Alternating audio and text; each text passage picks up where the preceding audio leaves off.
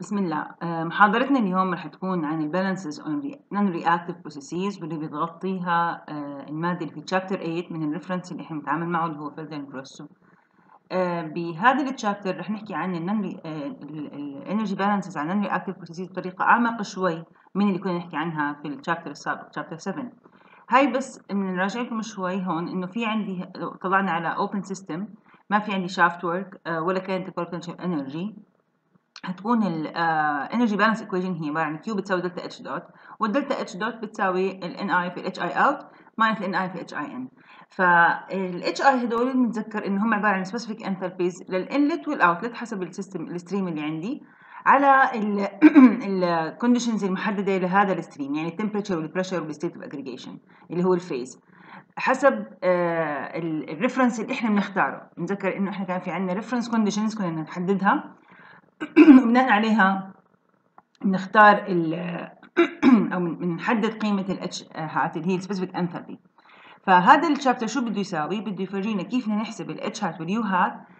لما يكون في عندنا tables يعني في المادة السابقة كنا نحكي عن steam tables نطلع منها قيم ال specific enthalpy وال specific internal energy طيب ممتاز. لكن شو إذا كانت المادة مش steam مش water شو بدي أعمل؟ كيف بدي أحسب الاتش هات واليو هات هذا اللي حنمشي فيه بهذا ال chapter واول ما نطلع الاتش هات واليو هات خلص بنرجع لل procedure الثانية نفسها اللي كنا نتعامل فيها سابقا.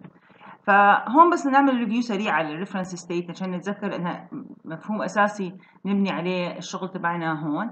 فبنتذكر إنه إحنا we can never know the absolute value of u hat or h hat for a species at a given state. ما عندي شيء اسمه قيمة مطلقة لل internal energy أو ال specific enthalpy واصلا إحنا we never need to know the absolute value. إحنا بس اللي بيهمني إنه قديش قيمة ال delta U أو ال delta H نسبة لل reference state اللي أنا بحددها.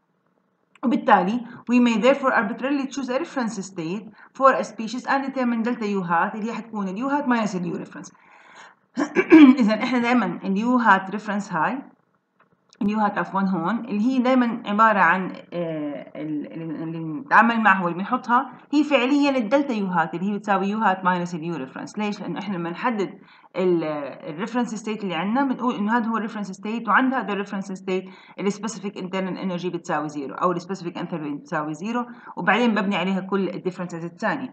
فبالتالي هون بهمني إني أحدد وأكون عارف شو هي ال reference state لما أنا بدي أبني عليها. هلأ بالسابق كنا نحكي مش دائما بهمني أعرف شو هي ال reference state إذا كنت عم بتعامل مع table معين لأنه أنا بختار نقطتين من هذا ال table وبلاقي الفرق بيناتهم. وطالما أنا عم بتعامل مع نفس ال table بالتالي القيمة الحقيقية أو النقطة الحقيقية اللي أنا بتعامل معها ك reference state مش كثير مهم بالنسبة لي.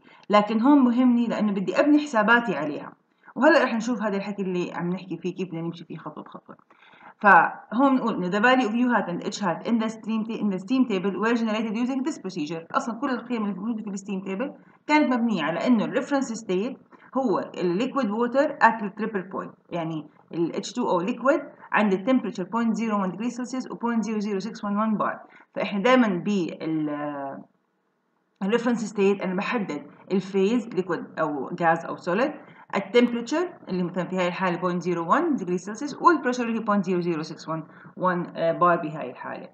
فلما نحكي إنه B... لو طلعنا على table B7 في الكتاب عندنا وشفنا إنه ال water vapor على 400 degree Celsius و 10 بار حنقرأ إنه ال u hat بتساوي 2958 kilojoule per kilogram هذه القيمة زي ما بنتذكر ما بتعني إنه الابسولوت فاليو لليو هات للووتر فيبر بهاي الكونديشنز هي 2958 kilojoule per kilogram وإنما هي بتعني إنه ال u hat لل water vapor at 400 degree Celsius and 10 bar is 2958 kilo per kilogram بس إيش relative to water at the reference state اللي هي relative لل water من آه لما يعني لما ينتقل من حالة ال liquid على 0.0 degree Celsius 0.01 degree Celsius و 0.00611 بار لل H2O ال vapor على ال 400 degree Celsius وال 10 بار فهذا التغير من ال reference point هاي أو ال reference state هاي للنقطة اللي أنا بدي إياها قيمة التغير في ال internal energy هي هاي الرقم الموجود عندي في ال table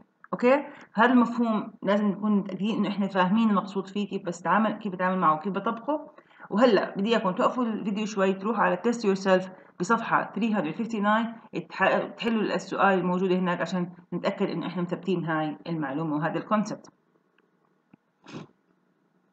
تمام. هلأ المفروض نرجع آه مع بعض وهون بدنا نشرح الطريقة اللي بستخدمها عشان أحسب هدول ال u hat وال h hat relative لل reference state اللي إحنا حددناها. فهاي ال method بسميها إنه بتعتمد على شيء اسمه hypothetical process path okay وهاي الطريقة بتعتمد على إنه إحنا ال u hat وال h hat are state properties شو يعني state properties برضه نرجع نراجع المفهوم هذا.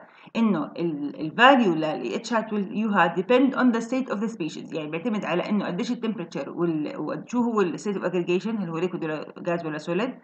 And to a certain extent أو lesser extent ال pressure okay وإذا كان عندي mixture بتعتمد على ال mole fraction لل different species في هذا ال mixture تمام؟ فال state property doesn't depend on how the species reaches its state. يعني إحنا قبل شوي حكينا إنه ال water vapor على 10 بار و400 degree Celsius هاي هي ال u hat تبعتها نسبة لل reference لكن كيف وصلنا من هذا ال reference state للنقطة اللي أنا بدي إياها؟ هذا الحكي ما بيأثر على قيمة اليوهات والاتشات يعني نرجع مرة ثانية هل أنا بالأول رفعت من من الحرارة من 0 degree Celsius ل 400 degree Celsius وبعدين رفعت الضغط من 0.00611 ل 10 بار وبعدين بخرت من liquid ل vapor ولا العملية كانت عكسية ولا بديت أول شيء بال phase بعدين غيرت ال pressure بعدين ال temperature هذا الحكي كيف ما مشيت كيف ما وصلت من هاي النقطة لهاي النقطة ما بيأثر لي على هاي القيمة. لأنها عبارة عن state property بتعتمد على الحالة الحالية لا تعتمد على كيف وصلت لهذه الحالة. okay؟ هذا اللي محكي الحكي اللي بنحكيه هون واللي يعني بيعطي نفس هذا المفهوم. فبالتالي هلأ أنا بدي أقسم التغيرات اللي بتصير بال stream اللي عندي آه عشان أحسب الإتش هات أو اليو هات لمجموعه من الخطوات. وهاي الخطوات كلها مع بعضها بتصير اسمها ال hypothetical process path okay؟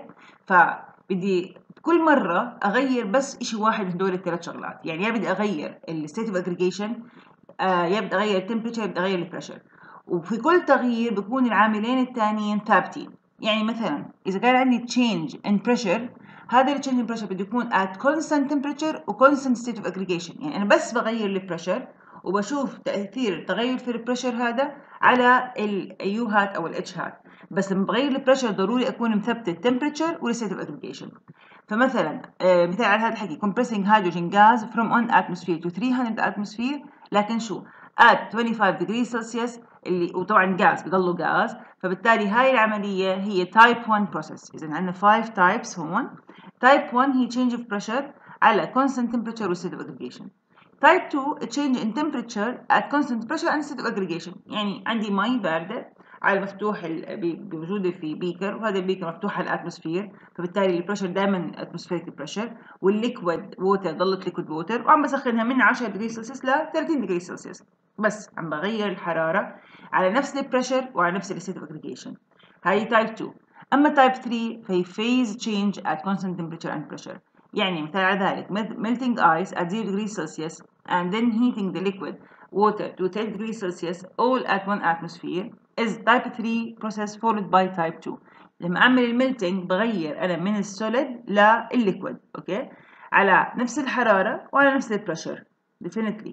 فهاي إيش نوعها؟ هاي type 3 هلا لما صارت ال liquid water على 0 degree Celsius رفعتها ل 30 degree Celsius كلها على 1 atmosphere هون ثبتنا ال state of aggregation وثبتنا ال pressure على different temperature فرحنا على type 2 إذا عندي بهاي ال process type 3 بعدين type 2 But uh, type 4 هي mixing of two liquids uh, or dissolving of a gas or a solid in a liquid at constant temperature and pressure.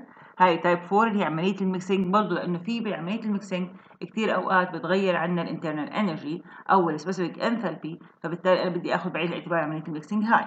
فمثال على هذا الحكي mixing sulfuric acid and water at constant temperature of 20 degrees Celsius and a constant pressure of 1 atmosphere is type 4 يعني بعمل ال mixing وبحافظ على ال temperature وال pressure فهذه إيش العملية type 4 وآخر نوع اللي هو type 5 اللي هو chemical reaction at constant temperature و pressure لما يكون في عندي two components بصير بينهم reaction على نفس ال temperature وال pressure at constant temperature و pressure هذا هو type 5 okay هلأ هاي مثال عشان نشوف شو بدي أستفيد من هذول ال different types of processes فرضنا هون we wish to calculate delta H hat for a process in which solid phenol at 25 degrees celsius and 1 atmosphere is converted to phenol vapor at 300 degrees Celsius and 3 atmosphere.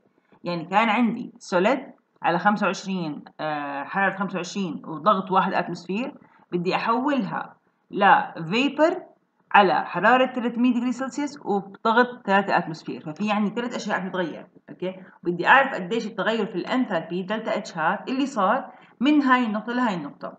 فأنا عشان أقدر أعمل هذا الإشي بدي أعمل اللي هو hypothetical process path okay؟ هلأ لو كان عندي table لل phenol زي كان عندي table لل steam table لل water vapor وال liquid اللي هو ال steam table عادي بروح باخذ ال H على النقطة الأولى الاتش هات والاتش هات على النقطة الثانية وبطلع الفرق بيناتهم خلصت القصة اللي هي عن طريق إنه ال H hat vapor على 300 و 3 atmosphere بناقص الاتش هات على solid 25 degree Celsius 1 atmosphere وخلصت الحكاية ما بحتاج أي شيء ثاني لكن بكثير مواد ما إلها table زي ال steam table فبالتالي أنا بدي أحسب ال delta H لهذا ال path فال true path اللي عندي إياه اللي هو زي ما حكينا phenol solid 25 degree Celsius 1 atmosphere ل phenol vapor 300 degree Celsius و 3 atmosphere بدي أقسم هذا ال path لمجموعه من الخطوات.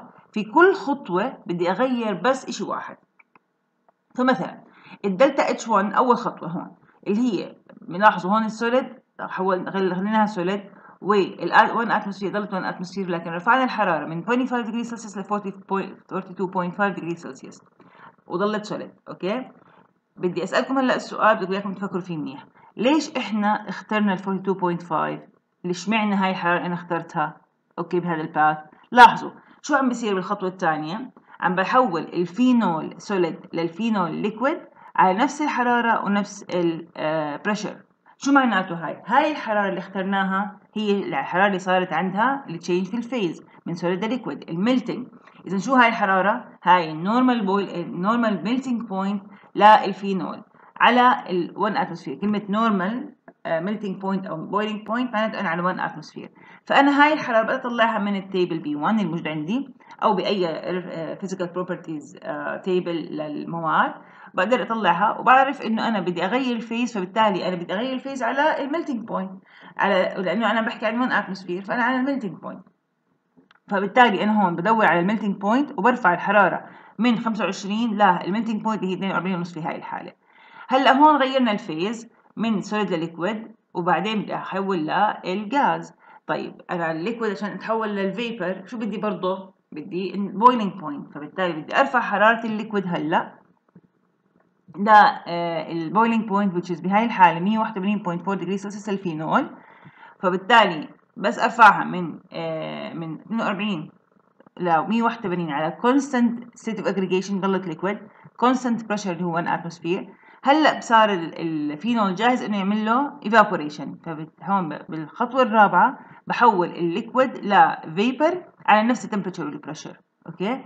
هلأ صارت عندي ال vapor temperature وال pressure اللي بدي إياهم لكن إحنا ال ال عفوا ال phase اللي أنا بدي اياه اللي وصلت له اللي هو ال vapor لكن أنا لسه بدي إياها على 300 300 degree Celsius و3 atmosphere فبضل عندي انه خطوة رقم خمسة بهاي الحالة إني أرفع من 181 ل 300 وبعدين أرفع ال pressure من 1 atmosphere ل 3 atmosphere لاحظوا مرة ثانية طلعوا على هذا ال pathway وانتبهوا إنه في كل حالة في كل خطوة أنا بثبت كل إشي ما عدا شغلة واحدة. هون غيرت بس ال pressure حافظت على ال temperature حافظت على ال phase هون غيرت بس ال temperature نفس ال phase ونفس ال pressure هون حافظت على ال temperature وال pressure غيرت بس ال phase فهيك في كل حالة بغير إشي واحد. إما state of aggregation اللي هو ال phase أو ال temperature أو ال pressure تمام؟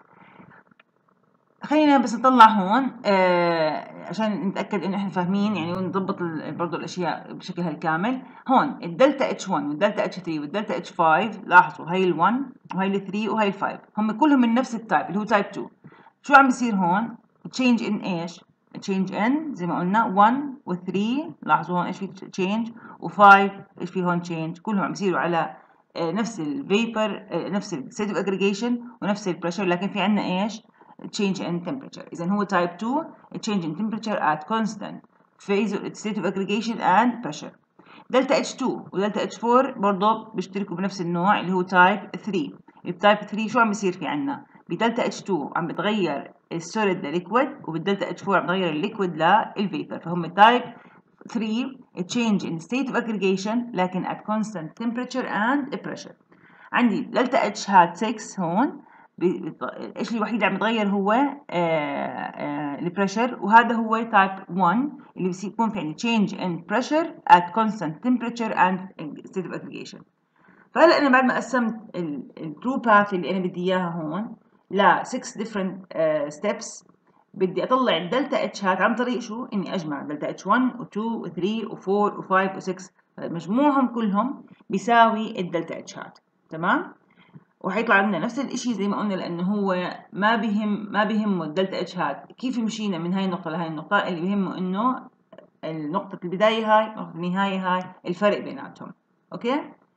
مرة ثانية بنوقف هلأ على تست الفيديو. نروح على تست يورسيلف في صفحة 161 نحله قبل ما نكمل بالمحاضرة تبعتنا. طيب. هلا بدنا آه نشرح آه خطوات اللي حكينا فيها آه أو يعني نشوف كيف بعد ما إنه إحنا فهمنا انه في عندي الاتش هات واليو هات عبارة عن state properties بدي أشوف شو الخطوات اللي بدي أمشي فيها عشان إني أطلع المعطيات اللي أنا محتاجها. فإحنا شفنا بالبداية كيف لما خطوات اللي بستخدمها عشان أشتغل في ال energy balances إنه أول شيء بدي أعمل كل ال material balance calculations أشوف شو بقدر أطلع من ال flow rate قدر الإمكان أي معلومة بقدر أطلعها من ال mass balance أطلعها من ال mass balance وأجهزها عندي. بعدين بدي أجي على ال unit هاي أكتب ال right appropriate form of energy balance هل هو عندي closed system هل عندي open system وأشوف إيش ال terms اللي أنا I can neglect أو إنه بحط uh, قيمتهم زيرو لأنه ما في عندهم change وبظبط هاي ال energy balance equation بحيث إنه تكون uh, على جاهزة للتعامل معها. بعدين بدي أختار reference state لكل species موجود عندي في ال process okay؟ يعني إذا أنا عندي مجموعة من ال components ما مش لازم تكون ال reference state لكل هدول ال components نفسها. حسب كل component بختار إيش هو ال reference state اللي عندي واللي بنحدد فيه ال phase وال temperature وال pressure لكل species يعني ممكن يكونوا نفسهم ممكن يكونوا مختلفين. هلأ إذا كنت أنا الاتش هات واليو هات بقدر أطلعهم من table زي ال steam table مثلا بختار ال reference state تكون نفس ال reference state تبعت هذا ال table okay؟ أما إذا أنا كنت بدي الاتش هات واليو هات أحسبهم حساب وما ما عندي table أطلعهم منه فأنا ال reference state اللي بختاره هو آه بكون ذكي في اختيار ال references بحيث بحيث إنه يخفف علي الحسابات. فباخذ واحد من ال inlet أو ال outlet states يعني نشوف ال streams ال inlet أو ال outlet بختار واحد منهم بيكون هو هذا والله بقول إنه هذا هو ال reference state اللي عندي لأنه عند هاي النقطة حتكون الاتش هات أو ال U hat بتكون بتساوي زيرو وبالتالي بخفف على حالي جزء من الحسابات. بدل ما أطلع أو آخذ ال reference state ما له علاقة بال streams اللي عندي وأحسب آه الاتش هات واليو هات لكل ال components هون لا أو لكل ال streams هون على الأقل واحد من ال streams بكون جاهز عندي قيمة الاتش هات واليو هات تبعته zero لأنه ال conditions تبعته من ناحية temperature و pressure و state of aggregation هم ال reference states اللي عندنا لهذه لهذا ال component okay هلأ اذا كان عندي closed system أو closed system و constant volume بدنا نعمل table with columns for initial and final amounts of each species سواء من ناحية ال mass أو ال moles uh, internal energy اللي you had relative to the chosen reference state. إذا كان عندي uh, open system بدي أعمل بدي أكتب table هذا ال table ال columns اللي عنده inlet و outlet streams وكل component إلها mass flow rate أو molar flow rate و specific enthalpy relative برضه to the chosen reference state.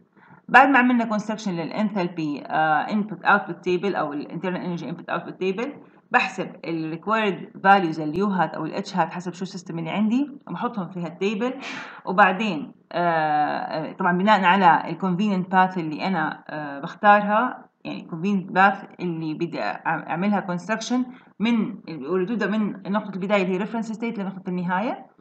وبعدين بروح على ال closed system إذا كان عندي closed system بقول delta U بتساوي ni Ui لل out minus ni Ui لل in وال open system delta H dot بتساوي ni Hi لل out minus ni H hat لل in وبعدين إذا في عندي work وال kinetic energy potential energy كل هذه ال terms إذا كانت موجودة أه بحسبها إذا إذا ما كانت dropped يعني. وبالنهاية برجع على ال energy balance equation وبعبي فيها بعوض فيها كل الأرقام اللي حسبتها وبطلع منها الإشي المطلوب okay؟ فهلأ هون بدي أمر معاكم على ال example في الكتاب اللي هو 811 ونمشي في هدول الخطوات عشان نشوف تطبيقهم العملي. وبالمحاضرة الجاي بنصير نشوف كل واحد من هدول الأنواع type 1 و 2 و 3 كيف بحسب ال delta H أو ال delta U المرتبطة فيهم. وعشان نقدر إنه نكمل في الحل لهدول ال nonreactive processes فعندي هذا المثال بقول لي acetone denoted as AC اللي هو يعني الاختصار له is partially condensed out of a gas stream containing 66.9 mole percent acetone vapor and the balanced nitrogen. إذا في عندي gas stream مكون من acetone vapor و nitrogen بدي أعمل له condensation. و partial condensation يعني جزء من هذا الأسيتون بيصير له تكثف وبينزل as liquid زي ما هو مبين هون.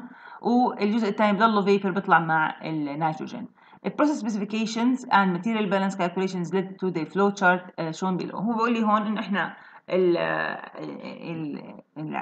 ال process هون معمولها energy balance sorry mass balance وبالتالي طلعت معنا بالآخر هاي الأرقام إنه هاي ال mole fraction لل acetone وال nitrogen في ال feed stream. طبعا ال liquid بيطلع pure acetone liquid هون.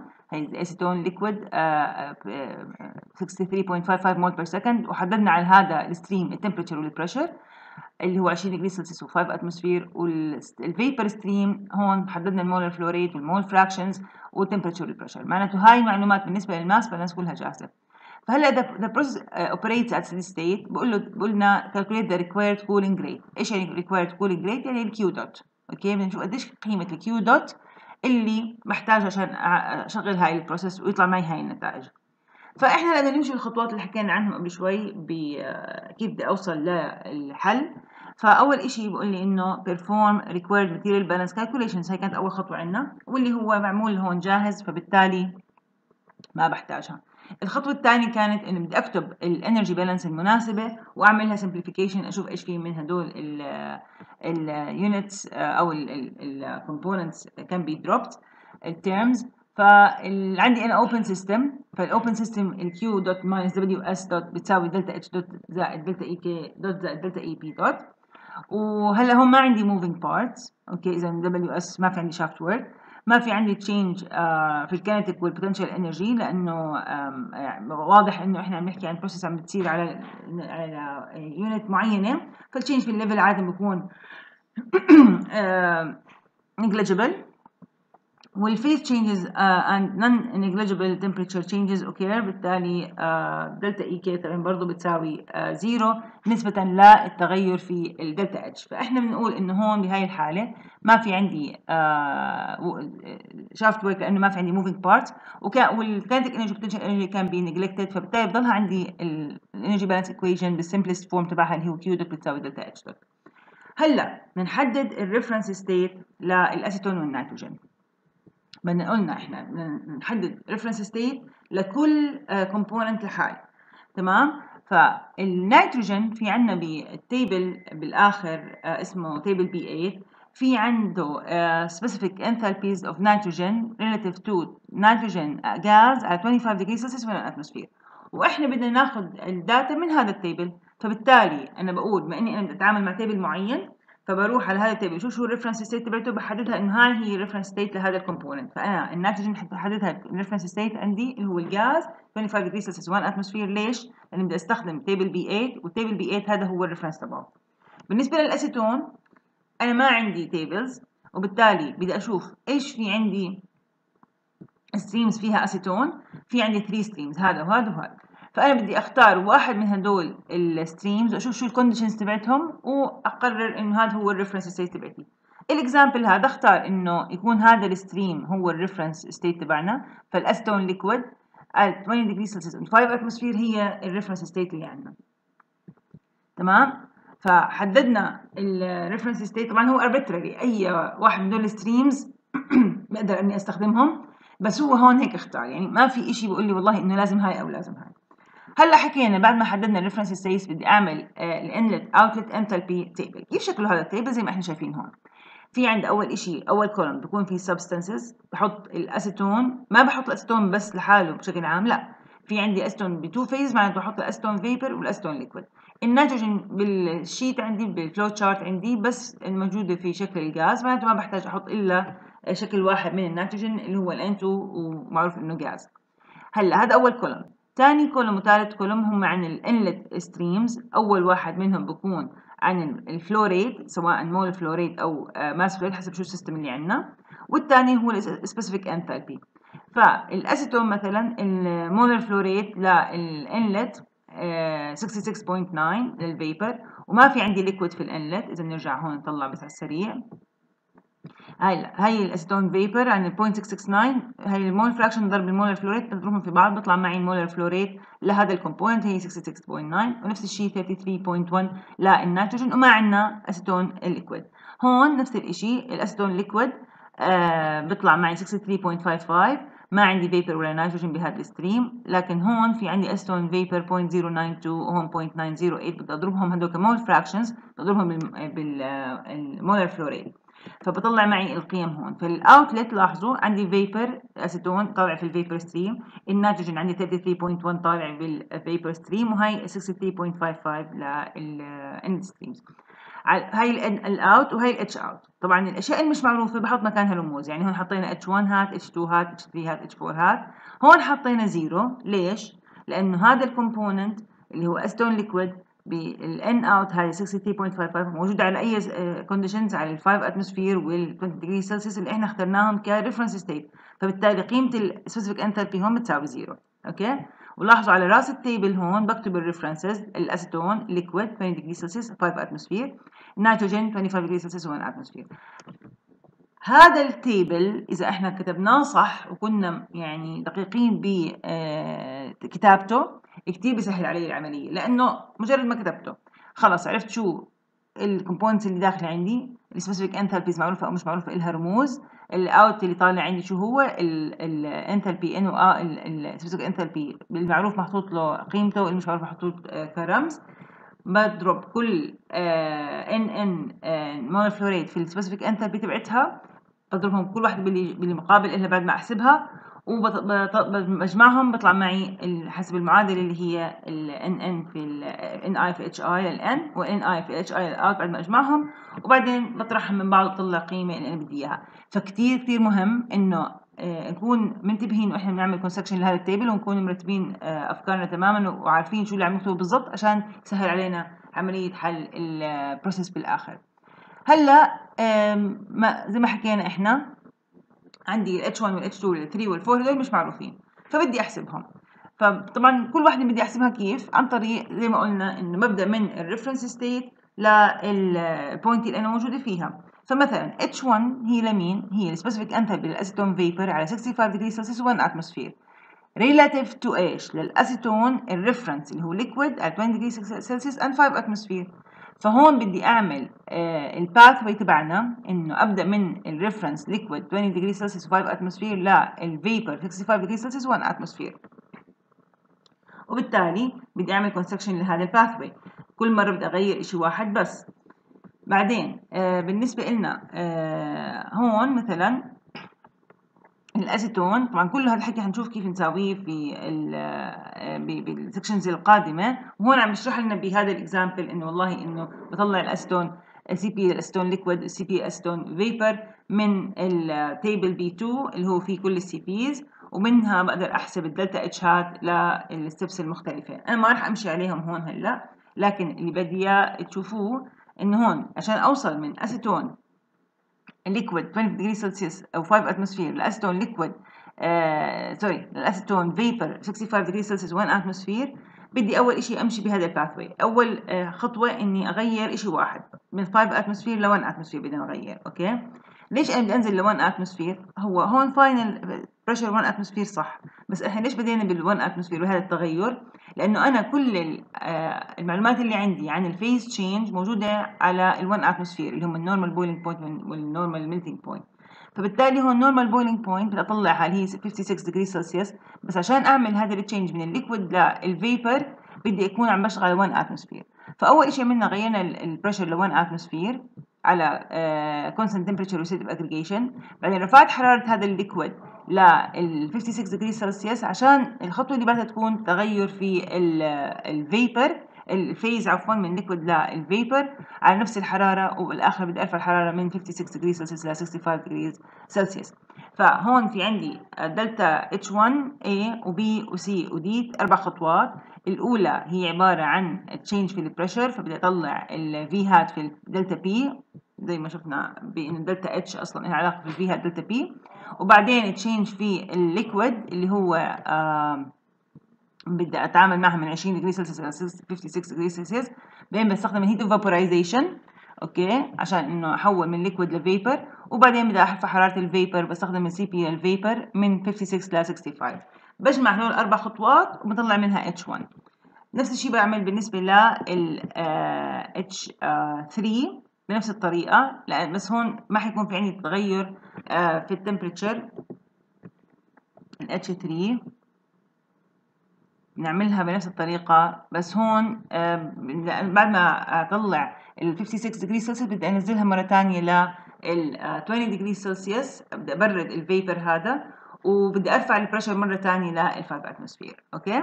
هلأ بالنسبة للنيتروجين directly بروح على ال table B 8 وبطلع قيمة ال H2 وال H4 هون directly لأنه إحنا قلنا إنه النيتروجين ال reference تبعنا هو 25 degree Celsius 1 atmosphere فبروح على ال conditions اللي عندنا لل stream الداخل اللي هو 65 degree Celsius هون بطلع قيمة النيتروجين ال specific enthalpy على 65 degree Celsius وهون على 20 degree Celsius. هلأ ال table اللي عندنا آه التغير آه أو ال reference تبعه هو 1 atmosphere وكل القيم الموجودة تبعته على 1 atmosphere فهون ممكن إنه أعمل neglect لتأثير ال pressure آه بال stream اللي طالع H3 H4 هون. وباخده مباشرة وهي بتكون assumption برضه حنشوف متى إنها بتكون آه قيمتها يعني أو تغير إنه أعتبر إنه تغير في ال pressure بصير إني أعمل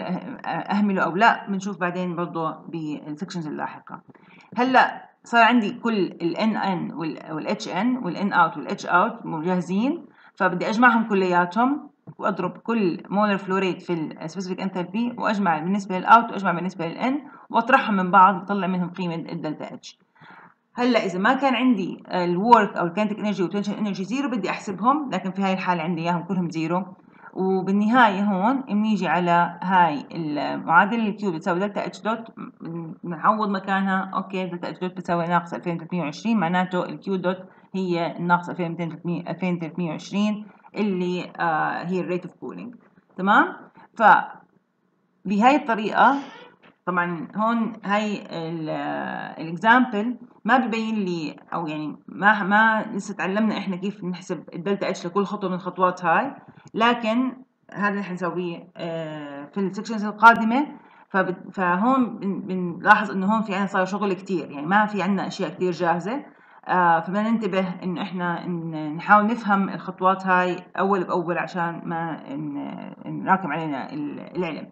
وهدول بس هون اللي ببين لي ال pathways لل delta H dot delta H hat لكيف نشتغل. نبدأ من ال reference state لل acetone vapor وال acetone liquid وننتبه على إنه إحنا نكون دقيقين بالتحول عندنا بال من من ال من ال reference state لهذا ال system اللي بيكون عندنا اياه تمام؟ رح نوقف هون والمحاضرة الجاية نبدأ ب نعرف كيف نحسب الاتش هات لكل وحده من هدول ال steps